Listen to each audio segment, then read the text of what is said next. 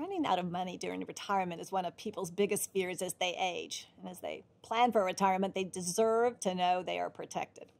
Across the country, states are enacting laws that enhance protections for consumers seeking lifetime income in retirement.